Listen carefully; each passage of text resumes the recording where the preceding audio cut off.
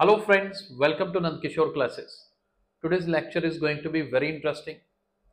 Today we are going to understand why multiplication of any number with 0 gives result 0. For example, 2 multiply 0 is equal to 0. Many students really gets confused because they don't know its answer that why they are taking it as 0. So we are going to clarify this concept today. Before we clarify directly with 2 times 0 as 0, let me come up with a general example. For example, if I say 2 times 3, what is the meaning of 2 times 3? 2 times 3 according to definition means addition of 3 twice. This is what the meaning of 2 times 3 is. 3 plus 3 is 6. That is why 2 times 3 makes 6. Right? If you know the basic concept, this is the word. Even the name says like 3 times 2.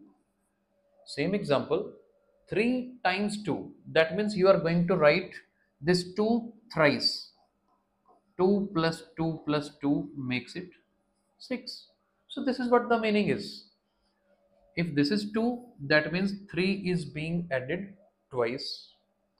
If this is 3, that means 2 is being added thrice. We can take more examples as well. Let me show you.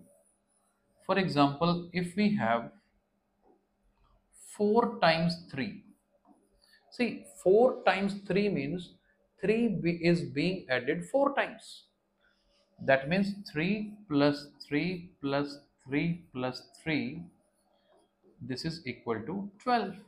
That is why 4 times 3 is 12. Now coming to our question. Let's suppose my question was 2 times 0. 2 times 0. What does that mean? 2 times 0 means 0 is being added twice. 0 means nothing. When nothing is added twice, you will get nothing, right? So that is why 0 plus 0 is 0. This is the reason 2 times 0 is 0. I hope you are clear with the concept. Same way if it is 3 times 0, that means 0 plus 0 plus 0. Since this is 0, so 3 times 0 is also 0. So there should not be any confusion now. Now I know that one question must be arising in your mind that why are we explaining 2 times 0? What will happen if it is 0 times 2? I would rather say yes, answer is 0 again. 0 times 2 is 0 because multiplication is commutative. You can interchange them. For example, 2 times 3 and 3 times 2 both are same. I know that multiplication is commutative. When this gives me same result, 4 times 6 and 6 times 4, it gives me same result. Same is the way 2 times 0 and 0 times 2 will give me the same result. But I know that still many of you might not be satisfied with the answer. Again, you think very carefully. Let's suppose 0 times 2 See, whatever the value here is, that many number of times we add the next value, right?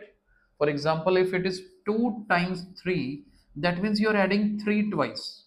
Because of this 2, you are adding twice. Now, because of this 0, 0 means nothing. That means you need not to add 2 now.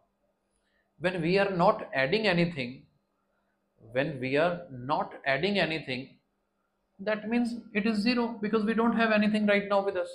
You can think in that way also because this 2 means you will add twice.